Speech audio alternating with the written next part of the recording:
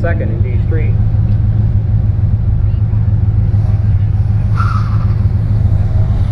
And here comes Jack Burns to the finish line in his black dark WRX. And Jack finishes with a time of 65.833, 65.833. A slight improvement over his previous run, but he stays in first in D Street. And coming around the last part, portion of the course is Ben Uphold in the blue WRX.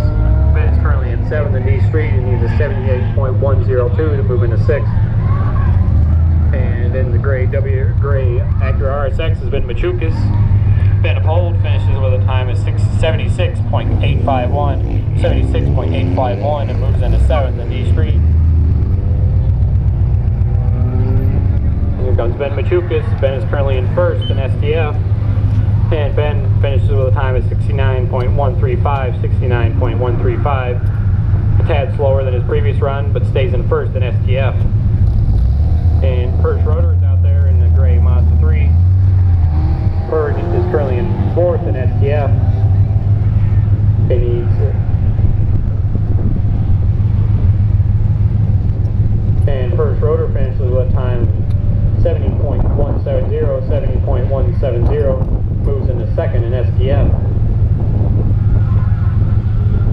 And out there in this white and the silver Mazda Miata is Larry McCartney.